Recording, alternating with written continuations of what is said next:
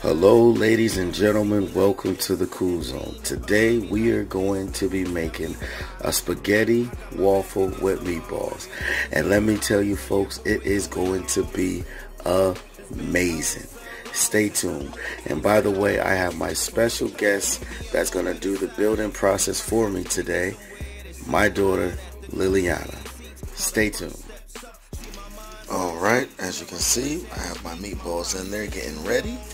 I have them cooking on a nice low temp. I'm actually going to cover it up just so I can keep the heat inside and have it be just right.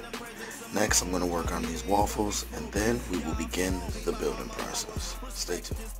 What you want to do is put your mar marinara sauce on top of the waffle.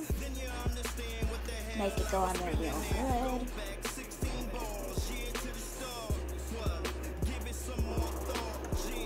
Spread it out so there's enough on each side.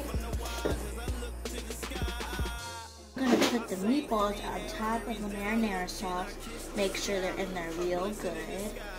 Now we are going to squeeze the waffle on top of the sandwich. We're going to do the same thing all over again, just like we did with our first layer. Make sure it's on there.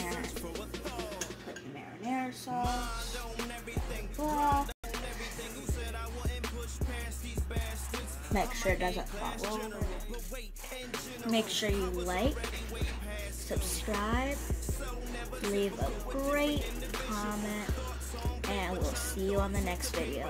Kool Zone out.